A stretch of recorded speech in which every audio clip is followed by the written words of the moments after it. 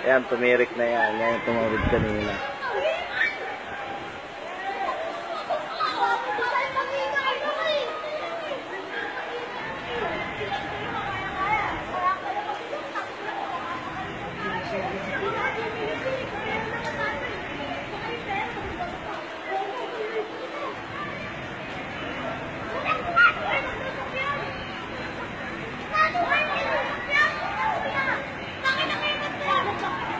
Ayan, tumirik na yan.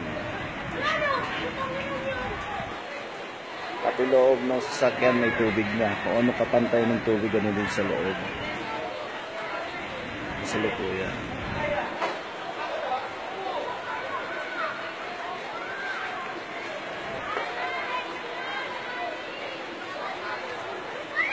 Ayan na lumabas na yung driver.